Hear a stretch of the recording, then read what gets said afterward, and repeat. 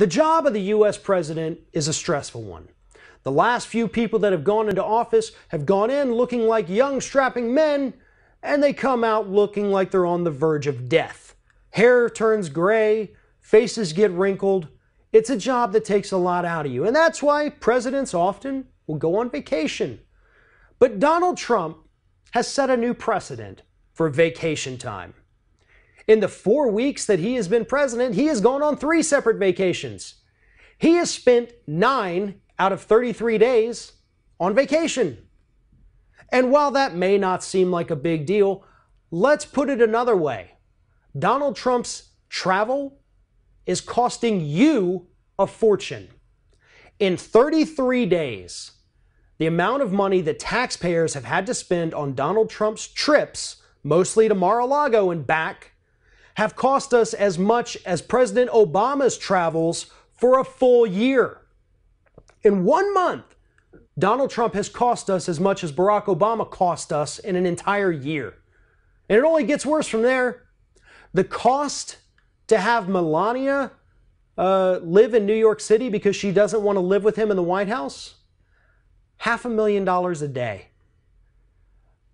Uh, Sixteen and a half million dollars has been spent so far as of right this second for Melania to live in Trump Tower in New York City, but still have the full protection of uh, Secret Service and all of that. Half a million dollars a day.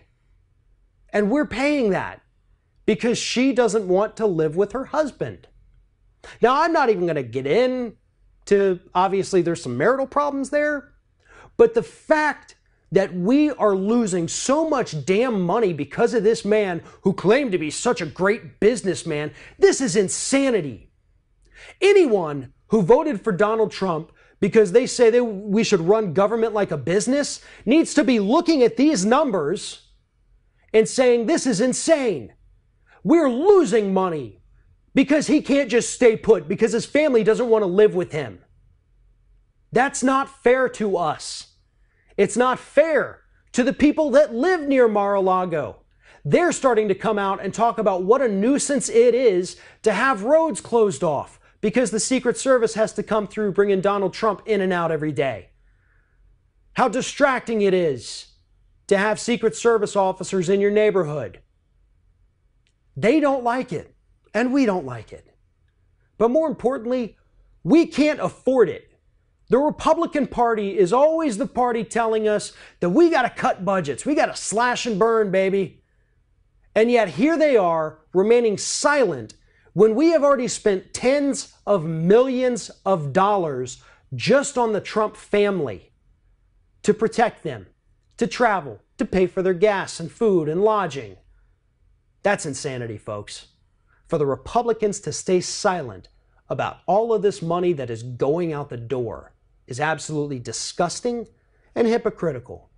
Because God knows that every time Barack Obama went on vacation, Fox News devoted days to covering the fact that the president was costing us money.